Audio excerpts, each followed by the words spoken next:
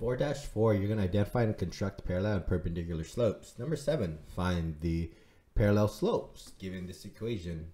So when we see that here y equals to 2x minus 7, we notice that this is going to be the slope. So we can say that the original slope is 2.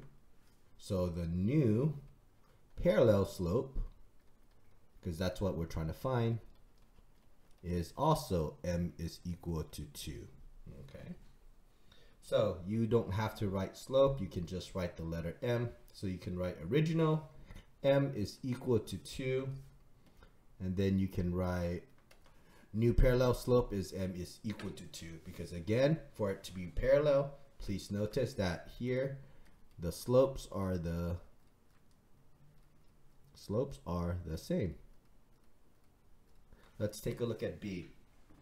We can't take a look at this because it's not in y equals mx plus b. So let's let's figure it out and convert it into y equals mx plus b. So we're going to add x to both sides. This cancels, leaving you with a 2y is equal to x minus 6. That 2 is in front and it's attached via multiplication. So let's divide by 2 to everything. This leaves you with a y equals to, there's technically a 1 here, so we can write 1 half x minus 6 divided by 2, it is 3. So we can say that the original slope is m is equal to 1 half because it's right here. And then we can say the new parallel slope,